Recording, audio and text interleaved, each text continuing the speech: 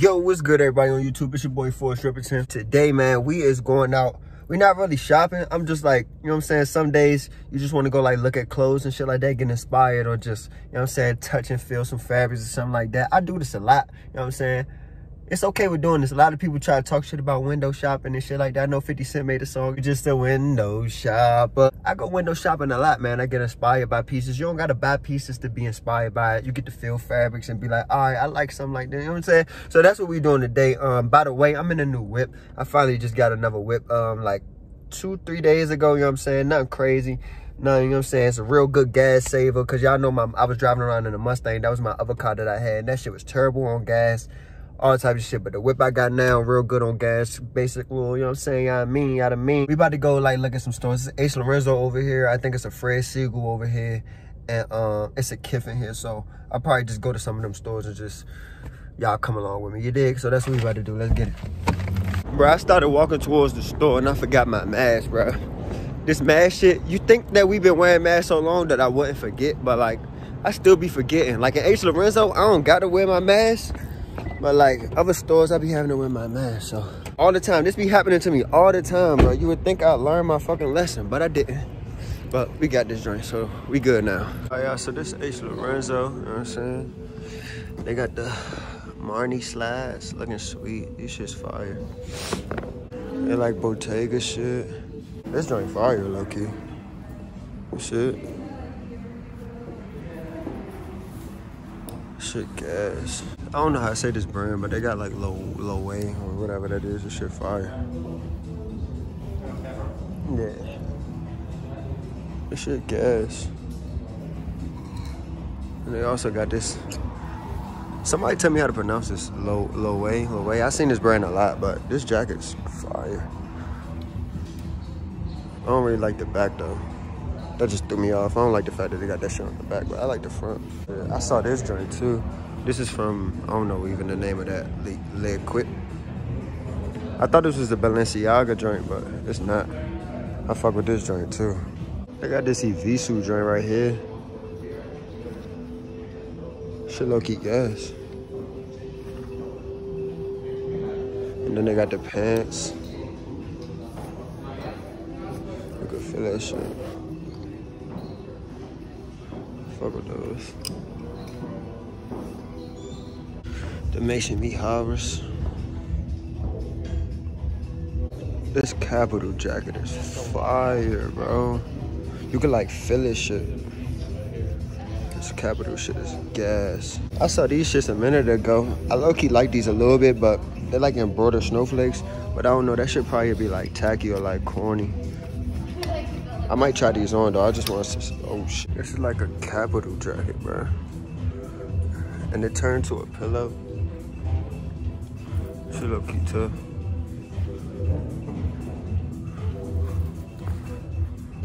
She look cute too. Some Kapital shit. I don't know if y'all seen this brand before, Coupe de la Libre or something, but like they make shit that look like sort of like Kapital stuff. Like it's cool. Some of the stuff be cool, but the only thing I don't like about this shit is like every pair, like pair of pants they have is flared. Like all this shit like corduroy and shit like that is flared. And every time I see it, I'm thinking it's Kapital, but then I get reminded, I'm like, nah, this is Coût de la Liberté. There's some chill pieces though. I mean, I like this jacket with the little like stone shits on. They cool. But it's low-key just be mimicking Kapital a little bit too much sometimes. I mean, I seen Thug and all them niggas wear it, but I don't know. How y'all feel about this shit? Here go the Earl stuff. They never really have like a large selection of the Earl stuff, but this like little kid shit. Like look at the green hoodie. I told y'all. I by the way, if y'all saw my last video, I ordered that purple and blue uh, Earl hoodie. You see how they don't got pockets on them? That's the only thing that blow me about this hoodie. But other than that, this shit's fire for little kids. Get your get your son or daughter fly. I mean, this bag is fire. This from that brand I was saying look like Kapital. This shit's fire. Look how much this joint is though. Ooh wee. This shit must be a real motherfucking horse or cow, whatever that is. This joint fire too. It's a Kapital bag. It's just gas. All right, y'all, so that was H. Lorenzo right there. I was about to try on the um the snowflake pants, but they only had a 34 in them, so I couldn't try those shits on, but those shits was fire. They're like $600 though anyway. They remind me of the drinks I got on right now, but we about to go to uh Fred Segal real fast see what they got. Hey, I ain't gonna lie. I'm walking past this little like poster little joint. This shit right here. I'm trying to get on a poster like this, bro. On a like, I'm trying to model for somebody like this and have my face like big up there. That should be gas, bro. One day I'm gonna do that shit. One day, if any brand or anybody watching this shit, I'm trying to get on the billboard or something like that one day. Remember I said that. All right, y'all, so I'm in Fred Segal right now. You gotta wear your mask in this joint, but I got like two, three pieces in here that I wanna try on real fast. And this probably the only thing I've really seen in here. It's like this corduroy little jacket and these like two pants from Wood Wood. Well, this Wood Wood and some other brand, but I'm about to try this shit on.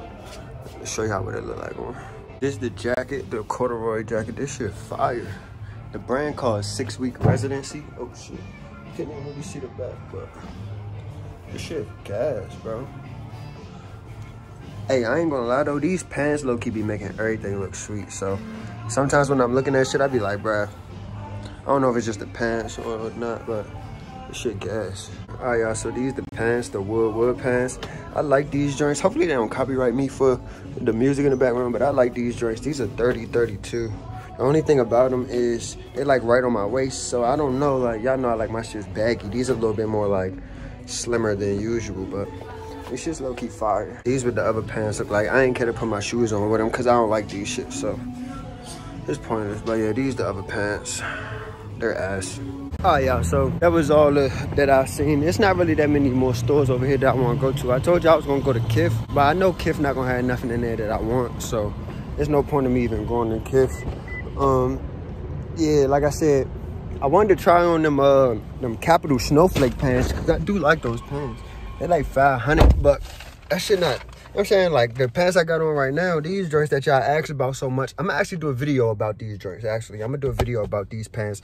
I'm probably just gonna do a video about like just baggy jeans in general again, because I know I gave y'all one video about the ones that I found, but I'll probably give y'all another video. But um, these was like three something, so like damn near 400. So 500, like this thing when you buying like jeans or pants and shit like that, those are like pants are what you wear the most like shit. Like shirts and jackets and stuff like that. That's cool, but like I really would suggest you invest your money into a good pair of solid jeans. Like these jeans that I have on, like these jeans right here, I wear these all the time because they're like such good quality. They go with everything. They're like my favorite pants and shit like that. So I would say if you don't invest in nothing else, invest in a good pair of pants because yeah, like y'all see, I got my my Converse on with these joints. Like these 70 80 dollar pairs of shoes like you don't need no crazy amount like crazy expensive shoes i say a solid pair of jeans or pants or whatever like i swear that will make or break it like your wardrobe and shit like that. So I definitely suggest y'all do that.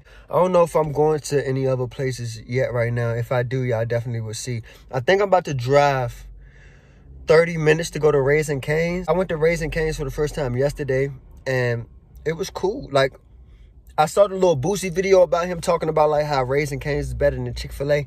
I'm not sure on that. Raising Cane's do got some good ass bread though. That shit fire. And it does kind of like fill me up more than Chick-fil-A because I eat Chick-fil-A and be hungry in two seconds. But yeah, I think I'm about to drive like 30 minutes to Raising Cane's and go get that. But other than that, I don't think I'm gonna go to no other like clothing stores right now for real. For real. I wanted to just come up here and like, number one, it felt good outside. And number two, I just wanted to come up here and like see what H. Lorenzo had and see what Fred Segal had. Fred Segal has some decent pieces in there though. They did definitely do that. I thought they was gonna have the diesel jacket that I showed y'all in my last video.